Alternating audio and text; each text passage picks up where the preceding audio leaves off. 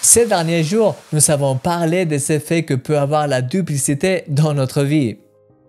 Le passage de cette semaine se termine en déclarant C'est un homme irrésolu, inconstant dans toutes ses voies.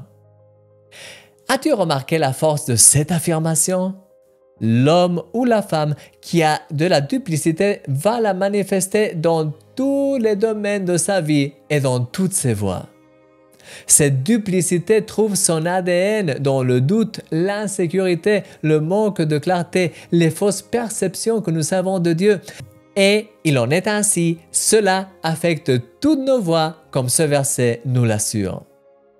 Mon ami, peut-être qu'il t'est déjà arrivé de lutter contre cette inconstance et que tu ne sais pas d'où elle vient, ni pourquoi tu as toujours du mal à être stable et à bien avancer dans les différents domaines de ta vie.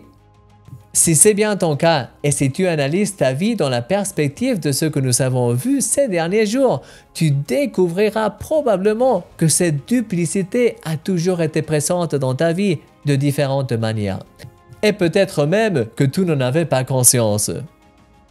Ce sont ces raisonnements qui sabotent tout, qui sèment en toi cette duplicité pour t'empêcher de demeurer dans l'instabilité de la vérité et d'avancer.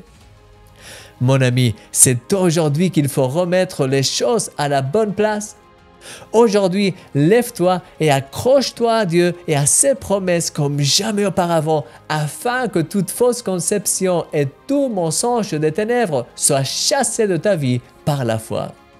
Aujourd'hui, sois solide comme un roc, sois rempli de la joie de Dieu au travers de la certitude et de la conviction de la foi dans l'Esprit.